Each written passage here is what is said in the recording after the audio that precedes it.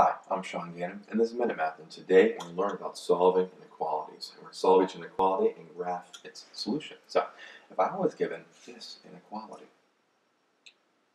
2 times 1 minus 4r is less than negative 2 times r plus 3 minus 4.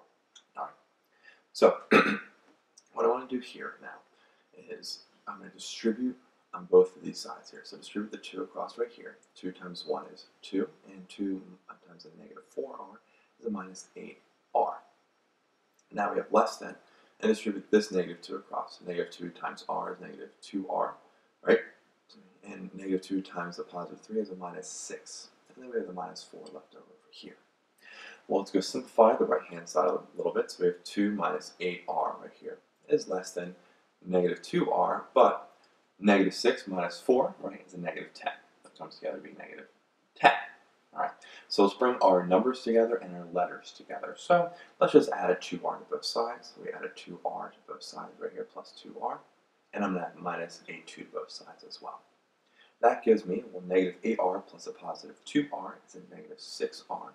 And that is less than, well, negative 10 minus 2 is a negative at this point, I need to divide by negative 6 to both sides. Okay, I'm kind of running out of space here. So divide by negative 6 to both sides. So let's go put it over here. Divide by negative 6 to both sides, right, gives me r by itself.